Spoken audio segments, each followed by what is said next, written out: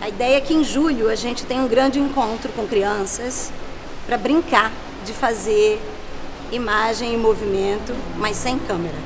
É uma grande brincadeira, onde as crianças vão estar é, usando objetos, instrumentos do pré-cinema, que foram os objetos exatamente que fizeram o nascimento do cinema. E experimentando com diferentes formas, com diferentes materiais, possibilidades de ilusão de movimento. A ideia é pegar aquilo que é inanimado, aquilo que não tem vida e dar vida. A animação quer dizer isso, da alma, da vida. Então a brincadeira é essa, a brincadeira é fazer com que as crianças produzam a ilusão do movimento, brincando e desenhando com diferentes materiais e diferentes ideias.